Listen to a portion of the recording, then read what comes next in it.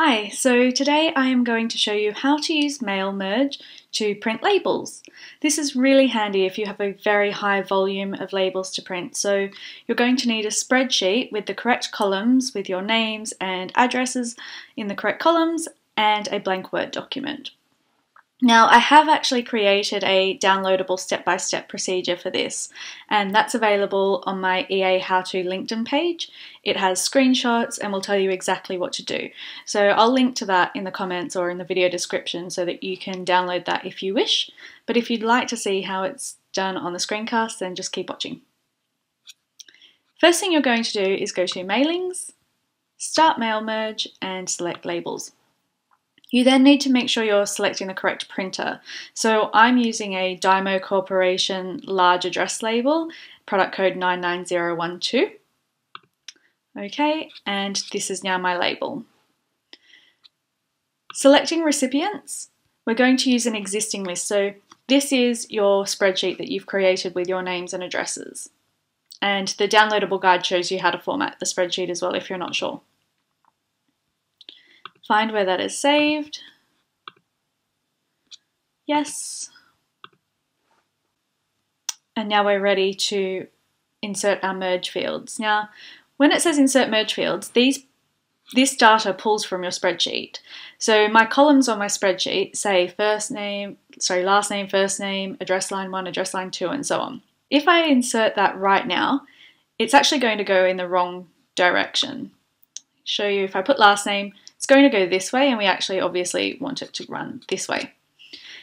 So let's delete that and we're going to change the direction of the text before we do anything else. To do that we go Layout, Text Direction, and it's now going to print that way. Back to Mailings, Insert Merge Field. You can do this in any order. If you want the first name to go first, that's absolutely fine. I'm going to go last name, create a space, first name, new line, let's put address line 1, address line 2, city, county or state,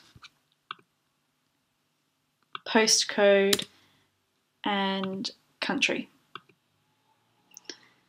And it looks like we have a bit too much space here, so I'm just going to adjust that in the layout as well.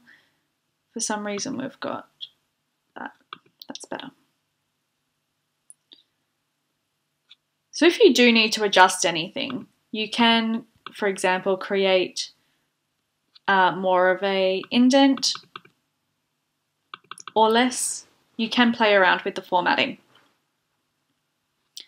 We're going to go back to mailings update our labels, hit finish and merge. Now you can print straight away, but I much prefer to edit the individual documents. So I want to see how it's going to look first.